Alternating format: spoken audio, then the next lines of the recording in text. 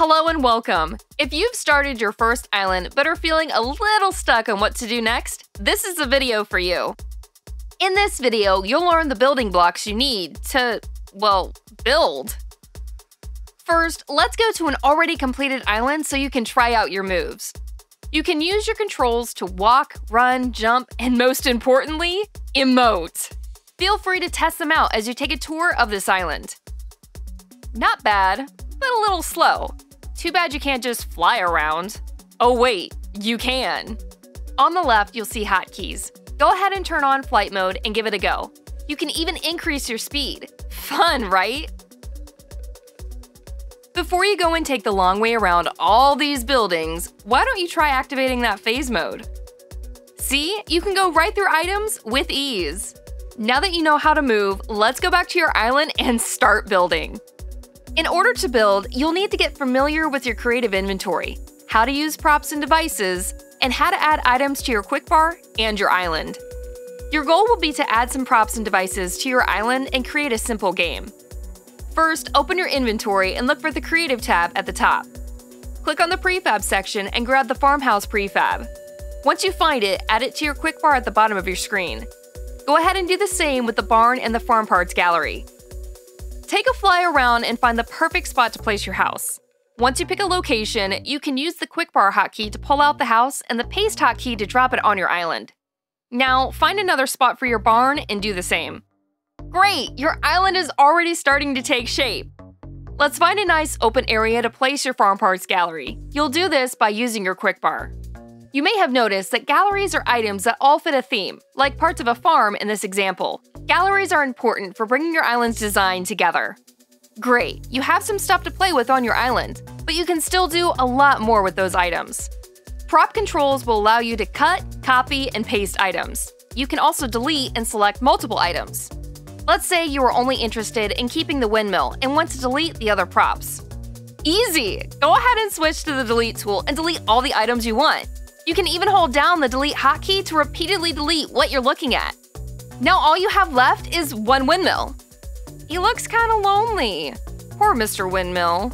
Let's make him some friends, using the copy tool. You'll find it on the left side of the screen. Make a few copies of your windmill. If you're not a fan of all the windmills looking the same, don't worry, you can change their look. For example, you could use more of your shortcuts to scale and rotate them like this. Stay tuned for the next video for more details on scaling and rotating. Feel free to put them around the farm and barn, wherever you think they look nice. Yeah, like that. Okay, let's play around a bit more with some other tools, like the Select tool, which you can see here. Select will let you grab a bunch of items and copy them all at once, which lets you set up your island quicker. One last thing you can do is pull items out of galleries, one at a time, using the Open Gallery option. You can grab the weather vane from the Farm Parts gallery and place it on top of your house, like so. Now that you have your props laid out, it's time to play with some devices and make this farm island much more interesting.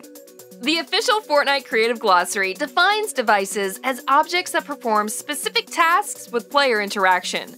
In other words, devices let players play. Open up your inventory and go to the Devices tab. You'll want to grab a player spawn pad, a HUD message device, a trigger, and an endgame device. Add all of them to your quick bar. You can also use the search feature to find all of the devices. Let's go a little more in depth on player spawn pads. The name is pretty self-explanatory, but the different ways you can use this device might not be. The two most common ways to use player spawn pads are as a pre-game only and as a create only. But what's the difference? You will use the pre-game only option for spawn pads you want to use as a game start for players. You will also use this option if you want to have a lobby for players to wait in before a match begins. The create only option is what you use when you are spawning into your own island to build or test your game. You will select the one you want under enabled during phase. If you are using the spawn pads as a game start, where you place the spawn pads on your map can really change how your game is played and experienced. Think about whether you want to spawn players someplace where they can get the full lay of the land, or if you want to intentionally hide a surprise from them until later in the game. If you want to create a team-based game on your island, your player spawn pad can help there too. For example, in a game with two teams playing against each other, you could set it up so both teams start the game in different areas of your island. Go ahead and try it out by grabbing two player spawn pads. Set the first to Team 1 and the second to Team 2. Be sure to also set both to game start. Now that you know how to use the player spawn pad, it's time to pick a spot to place it. The farmhouse's front porch is a good choice for players to start. The nice thing about using a player spawn pad is when you come back to the island later, your character will start here instead of falling from the sky. Grab the HUD message device. A HUD, or a heads up display, shows players messages before gameplay. Once the game has started, the HUD will be hidden. Place your HUD where players will be able to read it when they spawn in, as you'll be using this one to give players game instructions. Interact with the HUD device and set the message to Go to the barn. You'll also need to set the HUD's timer to the amount of time you want the message to show up after a player spawns in. Let's do 3 seconds.